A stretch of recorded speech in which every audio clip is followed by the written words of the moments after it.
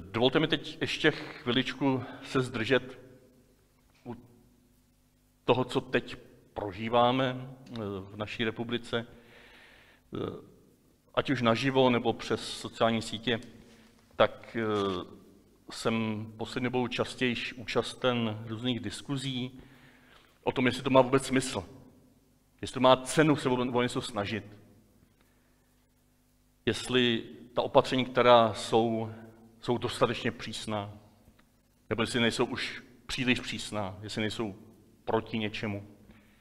A jsou to často nekonečné diskuze, které já vnímám, aspoň osobně, jak to cítím, jako léčku, jako pokušení se zabývat něčím, co je možná pravdivě nedokonalý nebo divný, nebo možná, možná dokonce nějak jako neúčinný, ale ten celek, ten celek, věřím tomu, ať už naše vláda je jakákoliv, tak věřím tomu, že ten celek opatření směřuje k tomu, abychom zvládli to, co se na nás pořád tady hrne z koronaviru lépe. S méně oběťmi. A proto si opravdu myslím, ať už to vypadá jakkoliv, ať už tam někomu nemusí být pod fousy, že tam je logo ministerstva zdravotnictví nebo vnitra nebo čeho vpravo dole. Myslím si, že tyto výzvy, ať jsou třeba ukradený z Anglie, tak mají smysl, a nejenom ty výzvy, ale mají smysl se jim přizpůsobit. A opravdu v nejbližších třech nedělích zůstat doma i nad rámec toho, co si můžeme dovolit ve všech těch opatřeních a ve všech těch klíčkách, jak bychom je mohli obejít. A za druhé, opravdu vzít vážně i to pozbuzení místo roušek nosit respirátory. Je to možná zase nedokonalá ochrana, zvlášť když si ji nasadíte nějak polovičatě, takhle a foukává to všude. Já jsem se sám musel s tím naučit pracovat, opravdu si pod svými brýlemi a e, nasadit to tím, tím plíškem pořádně na nos, jo, přesto si dát brýle, aby to těsnilo, voholit se, aby mi ty fousy nefouk, nebo přes ty fousy, aby mi to nefoukalo všude možně kolem. A teprve potom můžete zkusit velmi jednoduše, protože když se nadechnete, tak se vám to splaskne. Jo, decháte přes to, ne kolem toho. Jo, to je pro mě skoro novinka, já jsem to první zakusil před Vánocem, když jsem se holil do nemocnice, když jsem chodil na covid, že mi toto funguje. To není žádná blbost, to je dobře, aby vám to fungovalo. Aby když jdete někam nakoupit, tak abyste opravdu byli více chráněni než nějakým hadrem přes pusu. Vyberte si to, co vám sedí. Já jsem si taky vyzkoušel víc výrobců. Někdo mi doporučil Good Masks, český výrobce. To je tohle, co mi sedí. A mě to sedí, mě to funguje, je to měkký. Jo, nevím, jakou to má kvalitu, ale aspoň něco. Nemůže to být perfektní, ale je to lepší než hadr přes nos, který vám fouká všude možně. A určitě lepší než dvě chirurgické roušky, jak absurdně se doporučovalo pořád ještě oficiálně a potom to nějak pomalu z toho jako vycouvávají a říkají, že to je jenom tak dočasně. To teď nebudu rozebírat. Jo, to je jedna z těch, těch háčků, kdy se můžeme nad tím zaseknout a říct si, co nám to nakazují za blbosti. My už nevěříme ničemu, nebo nebudeme dělat nic. Tak vám chci moc položit na srdce, já jsem v nedávno v jedné diskuzi si to nějak sformuloval sám pro sebe a něco z toho vám teď ještě chci říct, aby jsme, ať už si o naší vládě myslíme cokoliv, a vy tušíte, co já si o ní myslím, tak platí, že to jenom společně zvládneme. Společně s vládou, s opozicí, s vědcema a především my tady dole společně. Bez nějakého pořád rozporování toho, co tam je za detail nějak době nastavený. Ta extrémní, doslova smrtelná vážnost situace mě opravdu přesvědčuje, že teď platí lepší něco než nic. Lepší pozdě než nikdy. Lepší společně a rychle stát za něčím nedokonalým, než se do nekonečna hádat o něčem dokonalejším.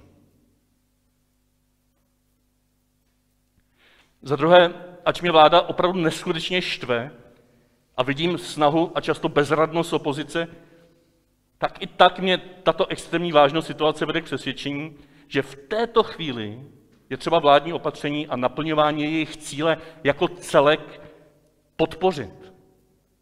Nerozporovat. Protože potom se, vám, se, vám, se vás někdo chytne za slovo, kdo vám důvěřuje a vykašle se na všechno. Vy začnete rozporovat něco málo. Možná o něčem diskutovat věcně v nějakým bezpečným okolí. Ale neházet pořád kolem sebe špínu na to, jak to je blbě celý. Je tam možná zoufalá a přesto snaha něco ještě zabrzdit. To jednotlivé opatření za třetí by došlo, že je možné promýšlet z různých hledisek. Stačí jejich přísnost? Neměla by být ještě přísnější? Nemělo by toho být více v jiných sektorech, než v tom našem, co mě omezuje? Nebo naopak méně? Neměli bychom být svobodnější? Neměli bychom pustit už děti do školy konečně? Není to diskriminační vůči někomu? Jo, někdo něco může, někdo něco nemůže? Umožní to mě pokračování v tom stylu života, jak jsem byl zvyklý? Nebo neumožní? A hlavně je to jako celek akceptovatelný veřejností? To jsou závažné otázky. Ale dopodrobné pořád do nekonečna diskutovat a kašlat na to není cestou. Na to teď prostě není čas. Možná bychom mohli spíš hledat způsoby, jak si vzájemně pomoct, aby ta opatření jako celek a možná ještě nějaká vlastní sebeomezení byla akceptovaná, byla přijatá co největším počtem lidí. Aby co největší počet lidí opravdu konečně začal nosit poctivé respirátory, jsou venku. Abychom nelezli někam ven, když to není nutné. Abychom si pořádně měli ruce. A abychom se vzájemně podporovali tak, jak to je bezpečné a dobrý. Mně napadlo, že můžeme třeba přemýšlet, jestli v těch absurdních opatřeních, které rozporujeme často v těch diskuzích, tak nemůže být nějaký zrnko pravdy, jestli tam to není postaven na nějakým názoru, třeba podloženým nějak vědecky v nějakých jejich diskuzích těch komisí a tak, že to nemusí nutně vždycky být ve prospěch nějakého agrofertu. Já nevím, ty květiny, že jo? Někdo to odvodňuje, že to je kvůli pětním důvodům, kvůli pohřbům. Třeba to byl hlavní důvod. A ne výdělek koho si. Tak z toho nedělíme nějakou eh, vějičku, na které se zasekneme a, a kvůli tomu neděláme nic. Nebo ten nešťastný pro vás, sportovce, to omezení na obec, že se můžeme jenom v obci, na území obce jít projít a zaběhat. Ano, je to divný, jo, že dále může si zaběhnout na Zelenou horu a ne už o kus dál, kde už to je pomezí a ne cheb. A já mám výhodu tady v tom chebu, kdybych si začal zase běhat, tak tady je spousta místa, ale jinde mají jenom nějaký malý plácky. Ano, je to absurdní, že to je možná i nebezpečnější krouzit někde kolem malé obce, než vyběhnout za území obce do lesa. Ale i to není třeba brát jako důvod se na všechno vykašlat.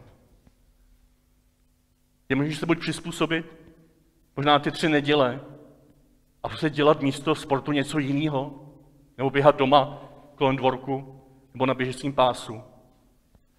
A nebo prostě zkusit vnímat, že když něco na krátký čas oželím, prostě moje kondička půjde dolů, nebo má potřeba navštívit své přátele, teď nebude naplněna, tak tím mnohonásobně získám.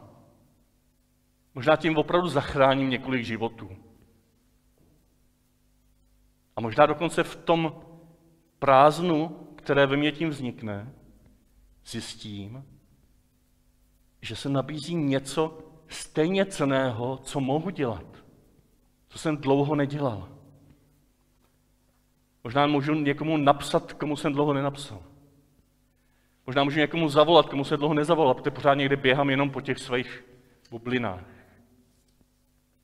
V té prázdnotě, která těma omezeníma vzniká, můžeme objevit opravdu květinku v poušti, která je pro mě tak cená potom, že se stane božím slovem. Slovem, o kterém jsme dneska uvažovali.